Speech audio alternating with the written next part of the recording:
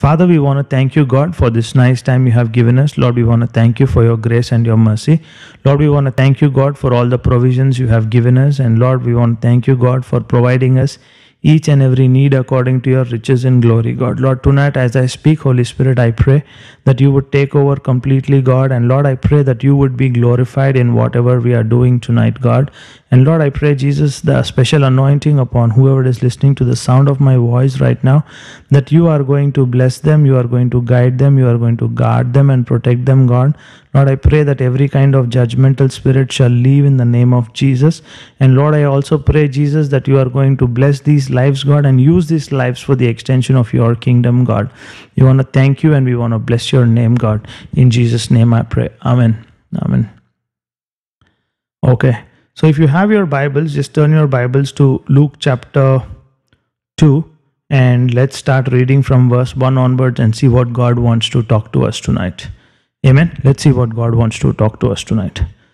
Verse number 1 Now in those days a decree went out from the emperor Caesar Augustus that in all inhabited world the roman empire should be registered in a census so what's happening here is basically in today's world it's all about aadhaar card okay there was a census which happened 2 years ago wherein everybody house to house the municipal commission of Hyderabad, they came and Municipal Commission of India, wherever it is in each and every state, they came and they took the census, how many people live here, who is it, what it is, and things like that.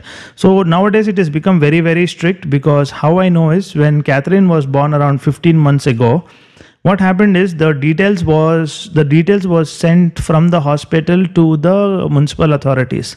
And regularly the municipal authorities was going on calling and asking us from different sources. Once i got a call from the um, mm, government hospital saying that where are you getting the vaccines done?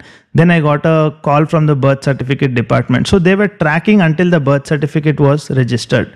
So that is how i came to know with personal experience that this is pretty strict. And we see that this is not something new but it is old so in verse 1, Luke chapter 2 and verse 1, you see that. Now in those days, a decree went out from the emperor. From where did the decree go? From the emperor, Caesar Augustus, that all inhabitants world, the, the Roman Empire, should be registered in a census. The reason why they register people is they would like to know what is the size of the population so that the government can plan so that the government can plan what they want to plan they can plan infrastructure they can plan what facilities can be given or the king or the head needs to know what is exactly the size of the people so that everything will be in control. Because people are always precious and people have always been assets. People have always been assets. So this is what is happening here. And in verse number 2 this was the first census taken while Quirinius was the governor of syria. And verse number 3 and and everyone went to register for their census each to his own city now, what's happening here is in in that back in that day, what happened is is exactly happening in this in this generation also. What I am trying to drive a point here is that the word of God was relevant. The policies were relevant then, back then in the day, and the policies are relevant back today as well. And when I say back today as well, we used to stay in a different locality four to five years ago. And recently, when the voting happened, my my my vote did not get transferred to the current locality where I'm living. So while I did an online check, even though I applied for it, it didn't happen. Why I need to put a query with the municipality. But however, when I when I checked on the system, it is still showing in my old locality.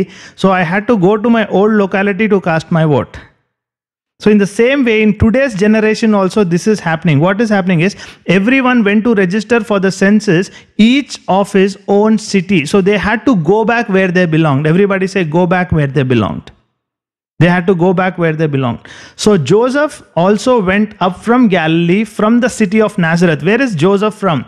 Joseph is from Galilee, from the city of Nazareth to Judea, to the city of David, which is called Bethlehem, because he was of the house and family of David. So, Joseph was from the lineage of King David. So, if you want to understand the lineage of David, you can do a Google search. You can understand the lineage of Jesus and you can understand how the steps happened and you will exactly know what it is. So, I leave that to you. If you are, for the interest of time, if you want to know the lineage of Jesus, you can you can Google and you can do. Uh, you, you can go ahead and you can study about even more details. Okay? All right. So Joseph also went up from the front of from Galilee from the city of Nazareth to Judea to the city of David, which is called Bethlehem, because he was of the house and family of David. Verse number 5. In order to register with Mary, whom who was betrothed to him and was with child. Now, as we have been meditating for the last few weeks from Luke chapter 1, we know that the Holy Spirit came upon Mary and she conceived. And here we see that Joseph, in the last week, we were seeing that Joseph quietly wanted to do away with the situation, but the angel of the Lord appeared to Joseph and said, Do not be afraid. The angel of the Lord appeared to Joseph and said, Do not be afraid. Whatever plans you are having, do not do not leave those plans. But what you need to do is you have to go ahead with the particular plan because it is god who is orchestrating the steps. And joseph was a righteous man. He was a just man. So he just followed what the angel told him to do. And he's been doing that. And now and now we see that he has gone to Bethlehem where he had to register himself. And he he he in order to register with Mary who was betrothed to him and with a child while they were there in Bethlehem, the time came for her to give birth. Who was in Bethlehem? Mary and Joseph were in Bethlehem. Why did they go to Bethlehem? They went to Bethlehem so that they can register for the census. And meanwhile, they were in Bethlehem for some time. What happened is the time came for her to give birth. Mary, the time came for Mary to give birth. And then what happened? Verse 7 And she gave birth to her son, her firstborn, and she wrapped him in swaddling clothes and laid him in a manger because there was no private room for them in the inn. Now there was no deluxe bedroom or there was no deluxe room with AC, with TV, without TV, with Western, with Indian, or whatever it is. We keep looking for so many things with sofa, without sofa. If this level of insurance is there, you get this. If that level of insurance is there, you get that. So nowadays we have so much of luxury and we praise God for that. We all live in the golden era. How many of you believe that we all live in golden era? See, I'm sitting in my I'm sitting in my child bedroom and I'm talking to each one of you. Jessica is in the States. She's listening to my voice right now. And I'm seeing everybody sitting in your own houses at the comfort of your couch or your bed. You're just sitting and you're listening to the sound of my voice. How is this possible? It is the goodness, it is the grace of God following you all the days of your life. Can I hear an amen? We have to be grateful to God for technology because God controls our mind, and whichever scientist has created these computers or whatever, it is all God given. It is all God given. Amen. Because God is the orchestrator of every good thing. Every good and perfect thing comes from the Father of lights. And when every good and perfect gift comes, we need to understand that a gift has to be taken, a gift is never bought. A gift is always taken, a gift is never bought, hence you get it free. Amen. Hence you get it free. You get free talk time to your heavenly Father because it is a gift. Salvation is free because it is a gift. Amen. But the fruit of the spirits are different love, joy, peace. Those fruits are not gifts, but they have to be born, they have to be grown. Amen. Now you understand the gift and the fruit. Now you see that in verse number 7, she gave birth to her son, her firstborn, and she wrapped him in swaddling clothes and laid him in a manger. Where did she lay Jesus? Jesus was laid in a manger because there was no private room for them in the inn. Just imagine royalty laying in hay, the darling of heaven laying in a manger royalty, the King of Kings, Jesus, the Prince of Peace, is lying in a manger. The first stroke, the first lesson, what we learn is while he was lying in a manger, it talks about humility. It talks about staying connected with people. It talks about the Son of Man came to give us life. He didn't bother about himself the moment he was born. He didn't bother about himself for a palace, but he chose a manger. Verse number 8 In the same region, there were shepherds staying out in the fields, keeping watch over their flock by night. So, what, what were the shepherds doing? Shepherds play a key role in the Bible. Shepherds play a key role in the Bible. Jesus is called the Good Shepherd. David was a shepherd, and here we are again talking about shepherds. The reason why shepherd is very important is the shepherd will protect the sheep from the leopard.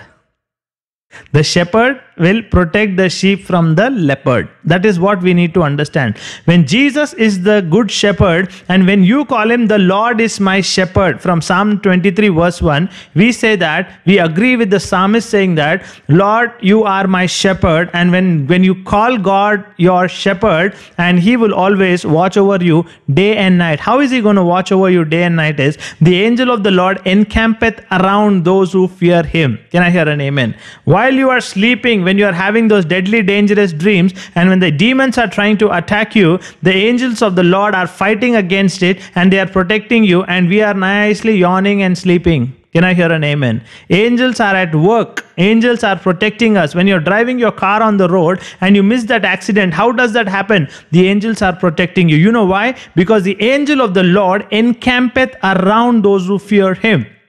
Coming back to the word shepherds. Verse 8 In the same region, there were shepherds staying out in the fields, keeping their watch over their flock by night. What are these shepherds doing? They are not sleeping, but they are keeping a watch over their flocks by night. What does that mean? What does that show? It shows that the shepherds are being responsible to take care of their sheep. Shepherds are being responsible. In the night also they are not sleeping, but they are having a watch over their flock by night. Why are they having a watch over the flock by night is in those days one of the prime business was shepherd. Shepherd's business was a prime business because they would trade. There was barter system and they would trade their sheep because that was food that was food and that was one of the good businesses then and in today's day also we all christians give lot of business to shepherds. Amen. We just love that business. Hence, we use that business and we allow those businessmen to grow. Can I hear an amen? And while they are growing, we are also growing by enjoying the goodness of God in the plate.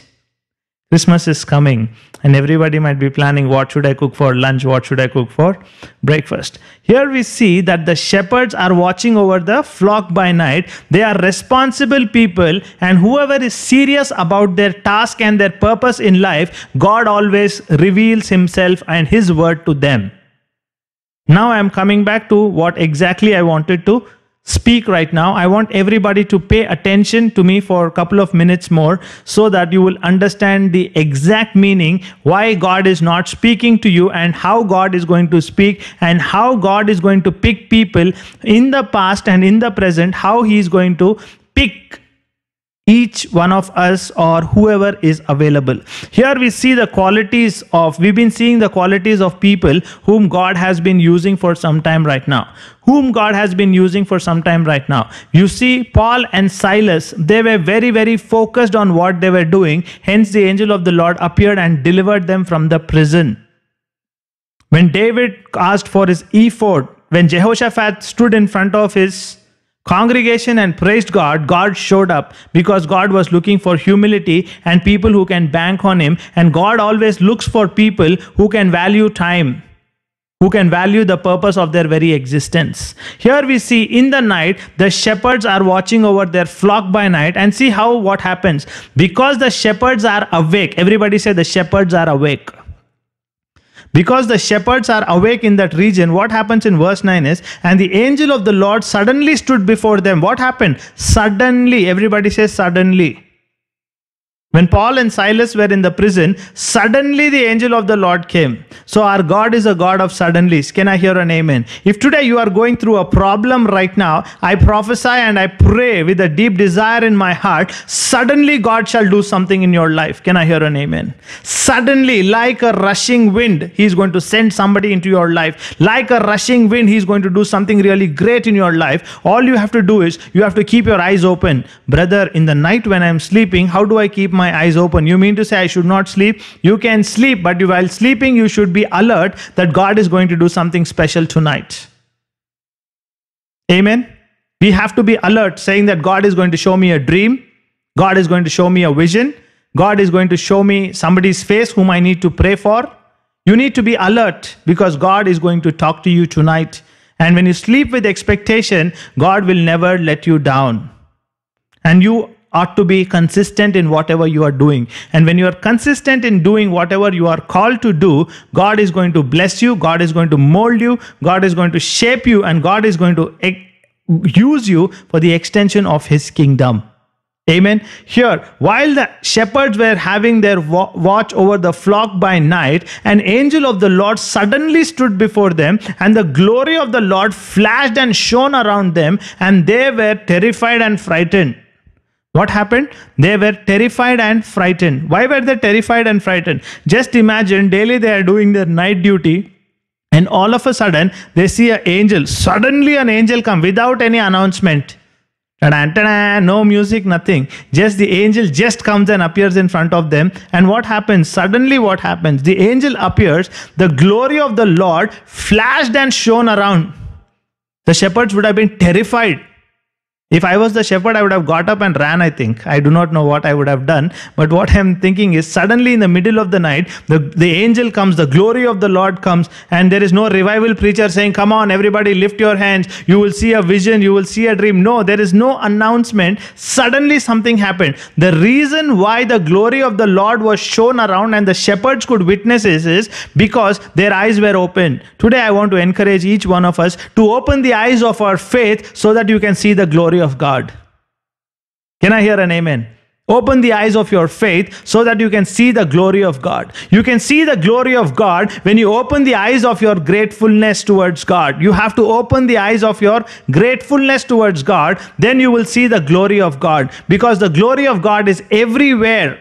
The glory of God is everywhere. It is we who put different lens to see what we are supposed to do what we are supposed to see or what we are wanting to see rather. Not suppose what we are wanting to see. When it is really sunny we all like to wear our sunglasses so that we are able to see very clearly. And the more the sun the more cooler for you. So some some of them call it coolers. Where are my coolers? I want to wear my coolers while i am in the sun and when you are in the when you are inside a room and the light is very dim you turn on the light because you want to see everything clearly. In the same way when you use your faith you have to see it very clearly. And faith comes by hearing hearing the word of god alone.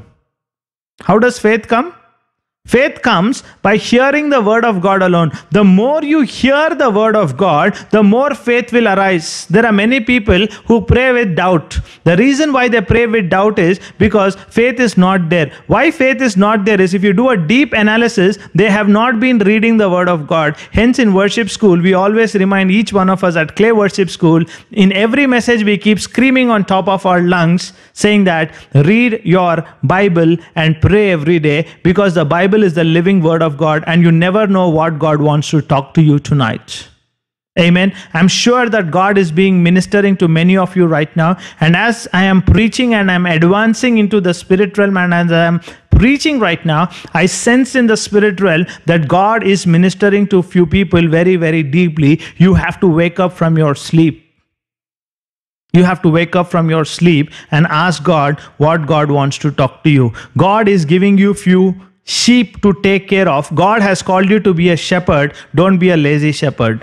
If you are a lazy shepherd, the leopard will come and take over your sheep. If you are that lazy shepherd, then you will be at a loss. But if you are that wise shepherd and an independent shepherd with 100% ownership towards your purpose, what will happen is you will watch over the flock by night. How will you watch over? You will watch over the flock by night.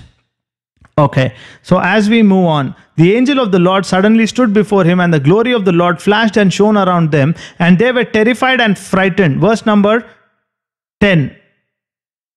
But the angel of the Lord said to them, Do not be afraid, for behold, I bring to you good news of great joy, and which will be for all the people. Verse 10 But the angel said to them, Do not be afraid, for behold, I bring you good news of great joy, which will be for all the people. Now, just imagine the shepherds, they are watching their flocks by night. Suddenly, the glory of God comes and everything is happening. And suddenly, the angel is saying, I bring you good news. The shepherds might be thinking, क्या good news है रे भाई ये रात में क्या परेशान कर रहे हैं In the night, suddenly the glory of the Lord comes, the angel of the Lord is coming, and suddenly you're saying it is good news. What kind of a good news is this? Question mark. Question mark. the angel of the Lord said to them, Do not be afraid. Whenever the angel of the Lord appeared, it always said, Do not be afraid. It said, Do not be afraid to Joseph. It said, Do not be afraid to Mary. It said, Do not be afraid to Zacharias. It says, Do not be afraid to Jehoshaphat and his army. It says, Do not be afraid to wherever the angel of the Lord, we've been reading for past few weeks, wherever we've seen that the angel of the Lord visited, it always said, Do not be afraid. I do not know for who it is. I want to repeat this again. Do not be afraid suddenly something is going to happen. If suddenly your life is going from bad to worst, do not be afraid. Trust in the Lord, and He's going to turn the tables for you. Can I hear an amen? God is looking for people with full of faith. God is looking for faithful people. God is looking for somebody who is full of faith and who wants to be full of fire for Him. The angel of the Lord said, Do not be afraid. I bring to you good news of great joy, and you will be for all the people which will be for all the people. Verse number 11. For this day in the city of David, there has been born a Savior, born for you a Savior, who is Christ the Lord. Now, here comes the inside story. Here, the announcement is not happening to the kings. Here, the announcement is not happening to the neighbors of Mary and Joseph. Here, the announcement is not happening to near and dear or any kin. Here, the announcement is happening for people who have their eyes open, watching over their flock. When we are busy doing what we are designated to do, if you're working in a school, you're working for a college, you're working for a corporate, or you are working at home, when you are seriously doing your work, God will look at your faithfulness in that particular work and He will give you a new assignment. Can I hear an amen? God is looking for people who value time. God is looking for people who value their purpose. God is looking for people who are sincere at what they do. God is looking at people with 100% integrity tonight. It's very heavy on my heart to share with each one of you that God is looking for laborers who can co labor with Christ, but who have 100% integrity, who will not compromise, who will not give reasons, but they will give results.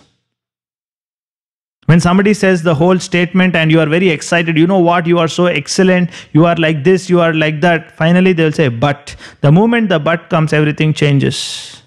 In the corporate, it happens. First 10 minutes, they'll pump you up inside the room saying, You are excellent, you're doing this, you're doing that, you're doing that towards the end he will say but you know what? Over. That game will change the u turn you didn't do this. You didn't do this. You didn't do this. In the same way when you are praying and reading your bible and you are not having answers for your prayers the angel will come and say you did everything but. The angel will come and say you did everything but. Your god is not answering your prayers. You did everything correctly but god is but god is not doing anything for you. Why don't pray. Don't go to that meeting. Don't forward it. Don't forward the SMS. Don't listen to the audio. Don't read. Don't pray. Nothing is going to happen. Your breath is not going to stop. These kind of thoughts keep coming in your mind. But if you are the right child of God, you will say no to the devil and yes to God. You will go even more closer to God. You will go even more closer to God. Now, here's some inside information in verse number 11. For this day in the city of David, there has been born for you a Savior who is Christ the Lord. Verse number 12. And this will be a sign for you by which you will recognize him. You will find a baby wrapped in swaddling clothes and lying in a manger. What did Mary wrap the baby with? Swaddling clothes and lying in a manger. Here the angel is giving inside information what's happening in the manger to these particular shepherds. The shepherds were selected because they were faithful. Everybody says shepherds are selected because they have been faithful. They've been watching over their flocks by night, and their ears and eyes were open. Verse 13 Then suddenly there appeared with the angel of multitude of heavenly hosts, angelic army, praising God. Now, these shepherds got first shock. First, the glory of the Lord came, the angel of the Lord came, and then he's saying it's a good news. And then they're giving some Savior is born, and you will find him. A Savior is born, a Lord is born, but you will find him in manger not quite matching. lying in a manger, wrapped in swaddling clothes. And then while they are speaking, suddenly second episode happens what happens is there appeared a host of angels hosts of angels appear praising god and saying verse number 14 glory to god in the highest and on earth peace among men with whom he is well pleased with now who will have peace whom he is well pleased with god will be well pleased with whom god will be well pleased with people who are living on earth Amen. He is not a partial God. But if you go closer to God, you will understand His love. But if you are far, you will understand the love of the enemy, which will steal, kill, and destroy you. You will experience it. So today, I want to encourage each one of you that if something wrong is happening in your life, you just have to ponder in your heart. I'll give you that verse as well. God is going to do something really special in your life. God is really going to do something special in your life. Verse number 15 When the angels had gone away from them into heaven, the shepherds began saying to one another, Let us go straight to Bethlehem and see the wonderful thing that has happened, which the Lord has made known to us. Now, here you see another characteristics in the shepherd. They are not talking about should we go and tell somebody, but they are jumping into action immediately saying, Come on, let's go straight. Everybody said, They said, Let's go straight. The reason why they said let's go straight is because they didn't want to waste time.